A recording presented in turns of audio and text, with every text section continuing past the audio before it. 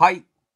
今回は大阪万博についてのやばい謎すぎる経済効果この内容について考えてお話していきます。今回もよろしくお願いいたします。まあ、維新の会の、まあ、裏ですね、えー、ある利権構造ということで、この自民、維新、あとですね、まあ、土木利権、まあ、そういったものについて、えー、分かる限りお話していきますので、今回もよろしくお願いいたします。まあ、この大阪万博の件がですね、え、ニュースにならなかったりするんですが、まあ、見つけて分かる限りの内容をいつもお話しさせていただいてるんですが、いつもお伝えしてます。皆さんも多分そう思ってらっしゃると思いますが、とにかく大阪万博絶対反対。その後の本当の目的であるのがカジノ IR ですので、カジノ IR 絶対反対。で、そんなことをするね、えー、お金、時間、ね、えー、人、建築、まあその建築物、建築、まあ、資材、そういったものを能登の復興支援に回せと、多くの国民が思っているにもかかわらず、そういうことをやらないわけですね。本当におかしいとしか思えない、まあ、そういった話です。でこの大阪万博っていうのはあこの関西だけの話ではなく、まあ、日本経済がこうね、えこの大阪万博によって衰退していく傾いていく可能性があるんですがあまり、え報道されないんですねで、えニュースに出るのっていうのはなぜか知りませんがいいことが出たりするんでいやいやおかしいじゃないかっていうことで。でこれっていうのは自民党、維新の会、背後の巨大土木利権が関係していると、そのように、えー、まあ、僕は思います。当然、あの米とか、えー、東丸とか、そういったものもあると思うんですが、まあ、そういったいろいろおかしいところがある、まあ、そういう内容です。で今回はまあニュースの内容にまあ出てくるんですが、あねえー、吉村っているじゃないですか、あの知事の吉村ね。吉村が何か断言したんですけど、もうはっきり言って大阪万博においてほぼもう全て99%でたらめである国民のためになることは何もないし単なるもう利権万博なんですねただその僕が言ってる利権万博とかそういうことを、まあ、まあ、知ってる人はもう知ってるんですが、まあ、そういうことを分かられないように、え意味不明なことをま言い続けてるともうおかしいとしか思えないんですがで例えばですねその中でいくつかもあるんですが考えていこうと思うんですが吉村の発言なんですね。うん、なんか空飛ぶ車とか言ったじゃないですか。自転車のように飛び回る車って。そんなものがあったら危ないんですよ。事故になる可能性があるからね。そんなものはなくていいんですがそういったことをまず口にしてそれはどこ行ったんだって話じゃないですか。で、えー、一番おかしいのはこの経済効果とかっていう話と関係してくるんですが大阪万博の予算ですよね。増額しないって言ってるのどんどんどんどん増額してるじゃないですか。でこれ皆さんに僕何回もお伝えして、えー、もうこれ分かってるんですけどもともと大阪万博をするとき、公金、税金を使わないっていう立て付けで始めたんですよ。しかし、いつの間にかに公金、税金を当たり前に使うようになって、0円から1350億円、1兆円、そして今13兆円となってます。これっていうのも明らかなんですね。夢島ってところのインフラを公金、税金を使って整えて、その後、カジノ IR に持っていこうとしてるんですが、多分そうはならないんですよ。あの夢島にはね、えー、その上物とかっていうのは地盤の関係で多分難しいから、うん、だけどそういうことをま隠してたのか、まあ、なんだか知りませんけどね。あ土木利権の人間が儲かりゃいいと思って自民維新土木利権でやってんのか、まあ、米もそれに関係してんのか。何だかっていうのは僕らが調べても分かりませんが分かることってのはただただおかしいことがありますね。それは分かるわけですよ。であのー、まあこれはこれは多くの人が言ってて、まあ、僕もそう思うんですが大阪万博と維新の会と利権ということなんですが、そうなんですが、これは維新だけではないんですよ。自民党も関係してるんですね。で、え何回もこの話もしてますけど、安倍晋三、菅義偉、松井一郎、橋本徹が始めたのはこの大阪万博ですので、当然自民党の影っていうのがある。そして菅義偉っていうのは維新の会とズブズブであるってことも分かっている。まあ、維新、えー、ね、菅、あね、経験中とかそういったものも関係している。だからつまり、こういったものが裏でつながってるんですよ。維新の会、自民党、万博協会、えアメリカ、東丸、ね、その土木利権の大企業、そういったものだと思います。で、まるっきりこのニュースで意味がわからないことを言い出したんですが、赤字が出れば出るほど経済効果が上がる。わけわかんないじゃないですか。うん、これだから赤字になればなるほど経済効果が上がるんじゃないんですよ。赤字になればなるほど公金税金を大企業土木利権屋に回して、えー、金が儲かるでさっき言いましたけどどういうふうにぐるっと回ってるのか分かりませんが自民党維新の会、えー、大企業土木利権でそそ,、まあ、その土木利権に、ね、公金税金が投入されるということででおそらくそれを介してですね分からない形で維新の会とか自民党にもですねキックバックしてると思うんですよ。でそれをまあ自分たちの経済効果って言ってるんですがわけわからないじゃないですか全くもってのデタラメでしょう日本国民の経済効果っていうのはそのね日本国内の経済効果あるいはねえ個人消費とかそういったものが上がることを思いますがこの維新の会があ、ね、言ってるのは違うんですよ。自民、維新、えー、土木利権、えーね、そういった自分たちが儲かる、まさに今だけ、金だけ、自分だけの、そいつらの集まりでの話になりません。で、えー、維新というのはこういう計算をできないのかっていうんですが、計算ができないとも取れますし、実は計算している可能性もあるんですね。えー、自分たちが儲かるってこと分かってるんですよ。僕は維新の会って大嫌いなんで、えー、全く支持しませんけど、当然自分たちの儲け、えー、儲かるっていうことを分かってるんですね。で、これっていうのも、まあ皆さん思っていただければと思うんですが、まるっきりこれ同じ構造となってるんですよね。何がっていうと、何と何がっていうとですね、えー、大阪万博と沖縄の辺野古基地、これが全く同じ構造なんですよ。何かっていうとですね、大阪万博の夢島っていうところもマヨネーズ地盤、地盤が緩いんですね。沖縄の辺野古基地っていうのも地盤が緩いんですよ。で、えー、この2つに関係している、いる、いたのが安倍晋三ですね。安倍晋三ってこの沖縄辺野古基地にもろに関係しているでしょ。で、この大阪万博の件の取っかかりも安倍菅、橋本、松井なわけじゃないですか。だからこの土木利権が関係している可能性が非常に高いんですね。だから自民党っていうのは大企業、まあ、土建や土木利権と裏でつながっていると。で、これに関しても調べた人がいるんですよ。あのね、え僕ではないです。この調べた人の意見をね、考えていこうと思うんですが、多分この、この通りだなと思います。だから日本の政治っていうのは何かっていうと、まあ、自民党と裏で大企業がつながってる。で、それを国民が気づいて、防いでいかないといけないんですね。自民党と、まあ、土木利権のつながりっていうことです。どういうことかっていうと、まあ、この大企業っていうのはこの消費税の恩恵を受けたりしてね、うん、そあの消費税をね、法人税の穴埋めにしてますから、大企業のね。そういったものをして、あの土木利権屋っていうか、大企業のその土木利権っていうのは儲かるんですよ。でそその自分たちが儲かる大企業土木利権屋っていうのは、まあ、自民党と裏でズブズブなわけじゃないですか。だから自分たちに、え有利になるような政策をしてもらいたいと思って、え土木利権屋が自民党に献金するんですね。でそうなってくると今度自民党とか、まあ、維新の会が土木工事とか建設事業を、え優先的に、えその土木利権屋に、え回していくとこの際に税金が使われるんですね。で、どんどんどんどん費用が膨らむと税金が増える、増税じゃないですか。でも、こいつらは2人とも、2, 2人ともっていうか、えこれらは儲かるんですよ。例えば自民、維新、あの土木利権が儲かる。で、それがぐるっと回っているのが今回の、ねえー、大阪万博の裏側なんじゃないかと思います。で絶対こういうことをテレビで言わないんですよ。うん、なぜかっていうと、テレビのスポンサーもね、大企業だから。うん、で、えー、おそらく自民、えーね、維新、えマスコミ、えね、土木利権、そういったものの後ろには宗主国米がいる。で、えこの土木利権屋どもが自民党に、え献金する、そういったものだと思います。うんで、え、ちょっと話がそれるんですが、この政治の話を考えていこうということで、えーねまあ、僕はあの維新の会も大っ嫌いですし、維新、えー、維新、えー、自民、立憲民主党って大嫌いです。僕はあの前もお話ししましたが、令和しかね、え、応援してませんので、他の政党っていうのは嫌いなんですけど、例えばですね、え、立憲民主党っていうのはあ一見するとですね、国民の、まあ、味方に立っているふりを見せるんですが、全くのデタラメなんですよね。で、そのことが分かるニュースがあったので、ちょっと話のね、えー、メインから外れますけど、それを考えていこうと思います。あのこういう政治の話なんでね、皆さん、えー、僕も分かる必要がある内容だと思って、ちょっと脱線してお話していこうと思うんですが、4月18日にですね、連合の吉野智子が、え東京15区の補選でですね、えこの立憲が、あ立憲の公認候補ですよね、酒井夏美ですよね、えー、酒井夏実が共産党の支援を受けている状況を容認できないとかって言ってるんですが、だからこの立憲と共産っていうのは、あ裏でですね、えー、こうなんていうか、仲違いしてるんですよ。なんでかっていうと、表向きはですね、例えば立憲っていうのは国民のためとか、あのいうで共産党っていうのは本当に国民のためであると思います。別に僕は共産党を支持していません。別に嫌いとかでもないし、悪く言うとかはないですけど、でも共産党とか、まあ、令和もそうですね、令和共産っていうのは国民のことを考えていますが、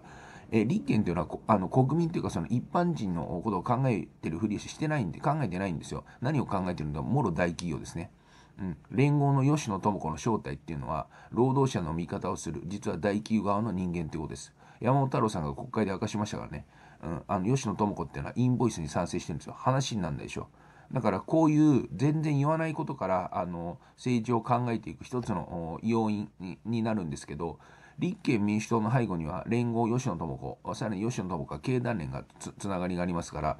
つまり立憲民主党というのは大企業寄りなんですね。自民党の背後には先ほど言いましたが土木利権とかありますが経団連大企業寄りじゃないですか。維新の会っていうのは第二の自民党と自分で代表の馬場が言ってるように、えー、自民党なわけですよ。そして、えー、これらの情報から考えられるものが出てくるんですね。導かれるまあ本当に算数の、ね、式が出てくるんですよ。自民党イコール維新の会イコール立憲民主党ってことです。この構造があります。だからもう立憲民主党なんてまるっきり支持できないんですよ。野党第一党とか言ってますけど自民党と、えー、茶番をしてるだけなんですよ。本当にね。うん、僕はふざけてるなといつも思ってるんですけど、ちょっとね、言い方が悪いところもあるんで、えー、すいません。ただ、そういうことを調べて、えー、真剣に思うし、そういうことを思えば思うほど、ちょっとね、言い方が悪くなるっていうことで、皆さんも思うと思うじゃないですか。自民イコール維新イコール立憲民主党。何あのプロレスしてるのって話でしょ。普通に頭くるじゃないですか。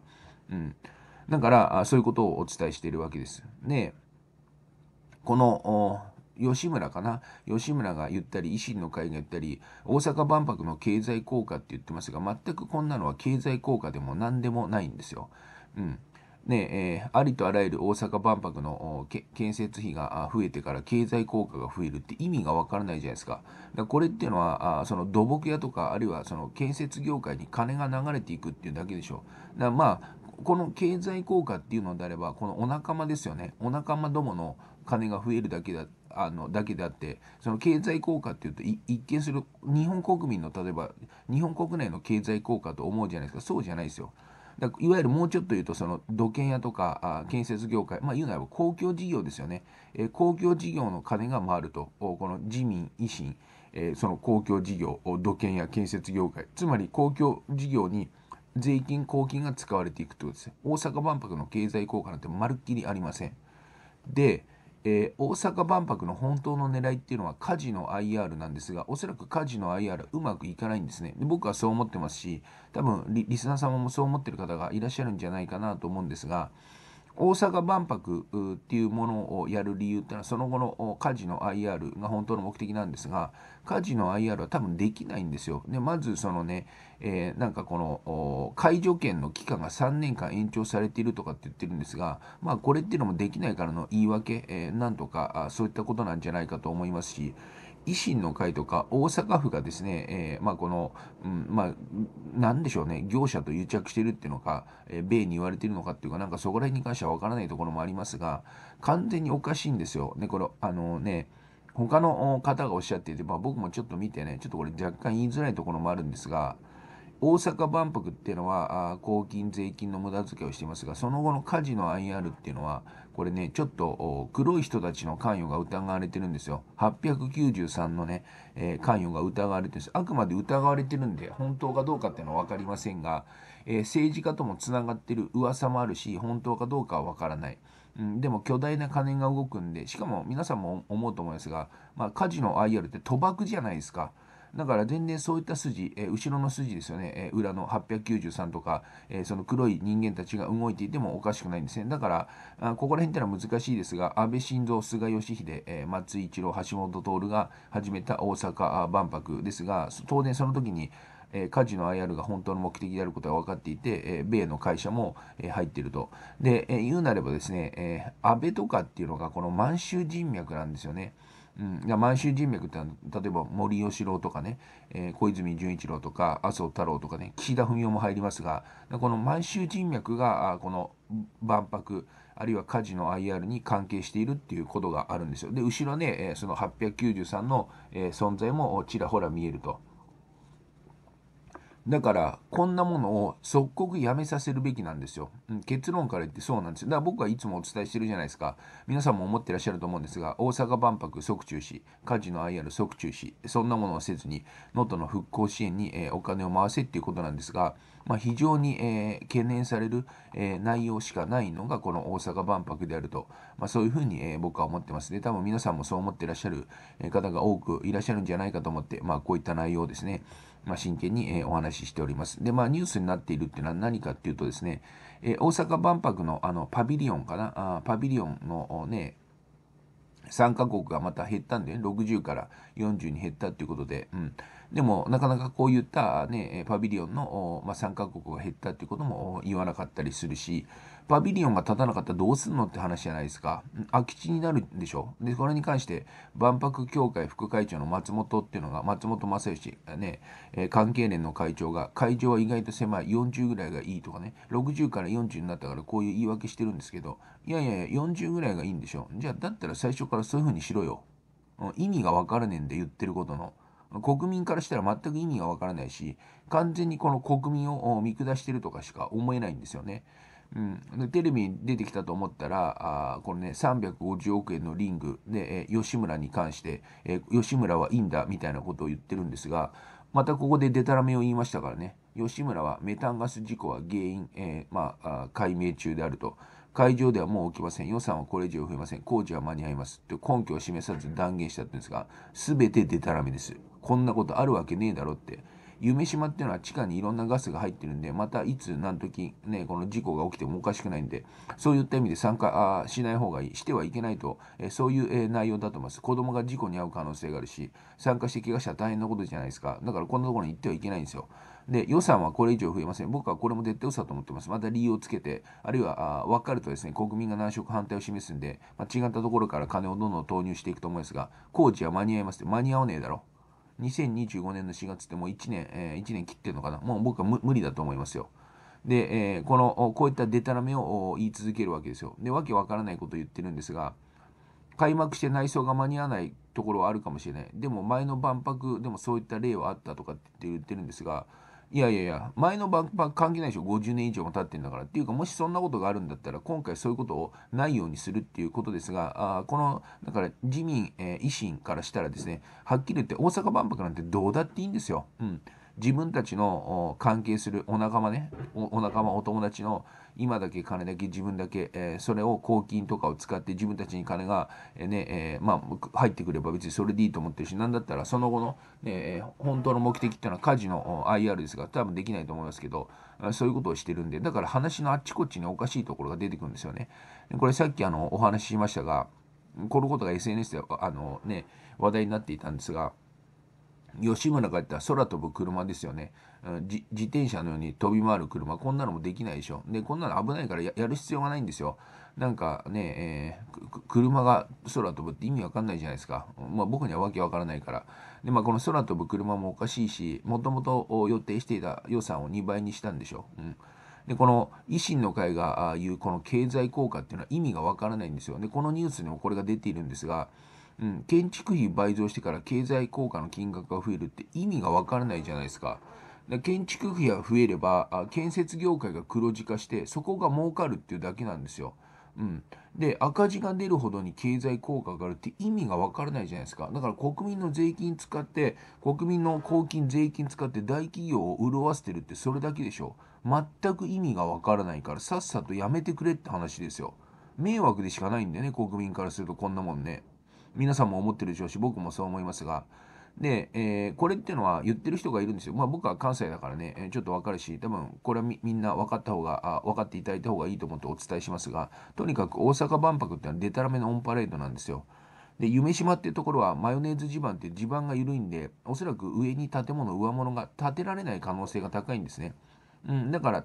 建物が建たないと何やってるのか意味がわからないじゃないですか。ひたすら公金税金を使ってその大企業土木利権、ね、公金、えー、あの公共事業とそのために金を流してるだけじゃないですか。だから僕はあの思ってて皆さんも思ってらっしゃると思いますが大阪万博をやり続けるっていうことはイコール国民を日本国民を見捨てるっていうことだと思ってるんですよ。だって思うじゃないですか。能登の揺れからあ3ヶ月は経ってますけど能登の復興支援全然進んでないんですよね。維新の会のデタラメっていうのはここにも出るんですが大阪万博の工事と能登の復興支援を同時にできるっていうんですができるわけねえだろって話なんですよ。